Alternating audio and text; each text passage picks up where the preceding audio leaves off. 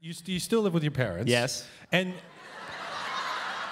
and they don't and they don't bug you about getting a, a please when it's time for marriage. Like, they don't say like give you some a hard time about not being married yet. Not yet, not yet. They're, they're just trying to keep me at home. I keep threatening to leave. I'm like, oh, you know, I want to, Well- I, might, I might buy a condo or whatever. And they're like, why don't we just move back to India then? Why are we here? Like, oh, what did we come here for?